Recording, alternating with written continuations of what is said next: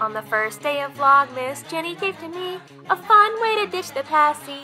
Happy December, everybody. I am so excited to start my Vlogmas series, or my 12 days of Vlogmas, and the first one is actually going to be all about how to ditch the passy in a fun way.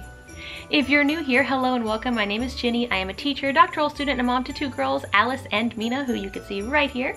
And in this video, like I said, I am going to cover the way that I've found to be best to ditch the passy if you have a toddler that is still clinging on to that passy. So first thing I wanted to mention too is that there is a reason why you kind of want to get separated from that passy and that's largely because of their teeth.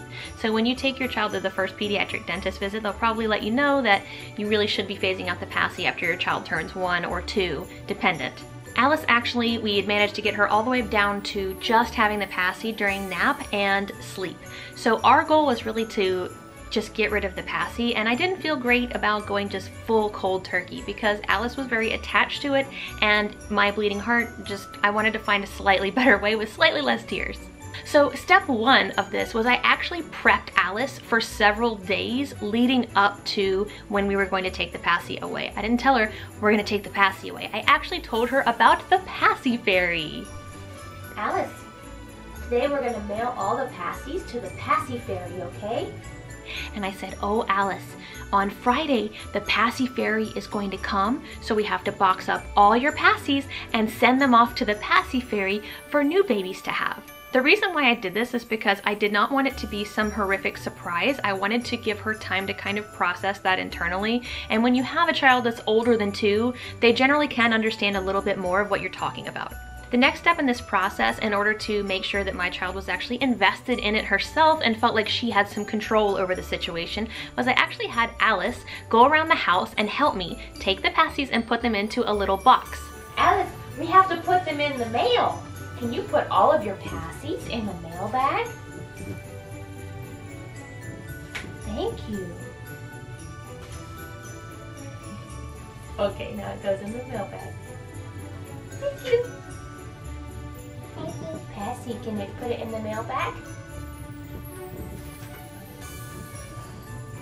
Good job! Once she put them into the box, we sealed up the box and I let her hold my hand as we walked out to the mailbox to send the box to the Passy Fairy.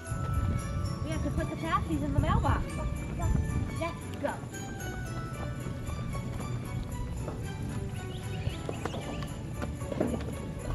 Push. Good job. Close the mailbox. Okay, Alice. Like I said, the reason why I did this is because I wanted her to have a sense of ownership over it and a sense of feeling of control over it. So it wasn't just mama took the passy or the passies are gone forever. It's a, well, the passy fairy took the passies and gave them to other babies that need them. Once we mailed off the passies and we said bye-bye to them, I let Alice know that I heard that the passy fairy will bring her a present after her first sleep with no passy.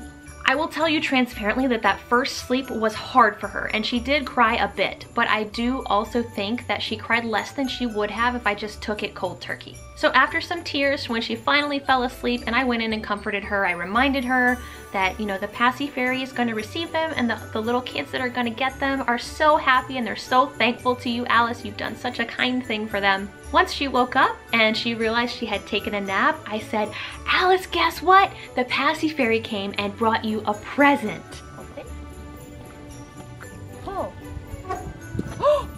What's in there for Alice? Did the Passy Fairy bring you a present? So what I decided to do for the present, I actually decided to buy for her two different things that have to do with sleep.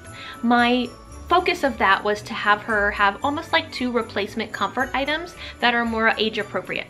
So I bought her a new sleep sack that is this sleep sack right here. This is a little sleepy sleep sack and their 18 to 36 month size is humongous. It's really long and since Alice is petite, it's the perfect size for her. And I got the one that has Jessie's design on it because Alice loves Jessie, she loves Toy Story, so I thought that would be a great thing for her to have in there. But of course, I wanted to have some fun stuff too. So I had in there the sleep sack, so associated with sleep. I also had in there a new coloring book with Disney princesses, something she could physically go ahead and do, something that she could actually touch and manipulate and have a real connection to just something fun. The last thing that I put in the box was a new stuffy that she seems to really like.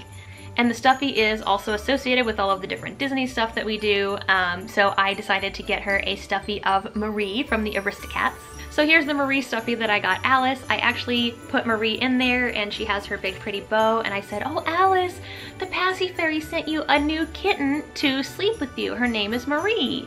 So she actually had Marie that she could sleep with too. So instead of just feeling that, you know, sense of void. And, you know, it is because it's all they've known for their whole life. She has something new to comfort her and hold at night when she is feeling those pangs of sadness without having this passy. I will tell you that for the next few nights, she definitely did struggle a little bit with sleeping because it is an adjustment. It's going to be an adjustment. But what I found is when I would go in to check on her, um, she would say, the Passy Fairy took the passies they went to new babies. So she, she knew why they were gone and she knew where they went, but there was just, you know, that sense of like a wistfulness with her. Like she knew they were gone, but it was still a sad feeling for her, but she knew they were where they needed to be.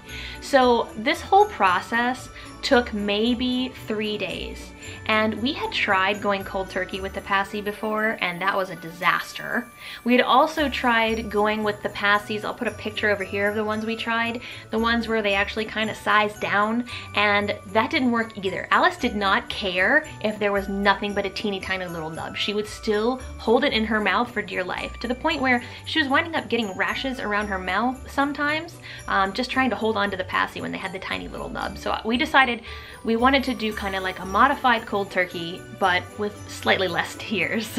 all in all, this process was fantastic and I'm so grateful that we did it. It's a big change for Alice, but it was one that was positive and I don't think she's gonna look back on losing the Passy as a real sense of loss and profound sadness because we tried at least to give her a connection to the process and also let her know that what she did was something that was good and generous and it made other people happy. So I hope day one of Vlogmas was helpful for you and you got some tips on how to ditch that passy because it can be very challenging. If this doesn't work for you, and it might not, just know that there's lots of other ways that you can try and I feel for you because it is hard to get rid of that passy. Do it step by step if you need to. Know that there probably will be some tears at some point, but let your child know that they're being heard and you understand them and you those feelings are valid. Day two, which is tomorrow, is actually going to be all about my favorite apps for toddlers, so I hope you will check it out tomorrow. And thank you so much for stopping by to Vlogmas Day 1. Take care.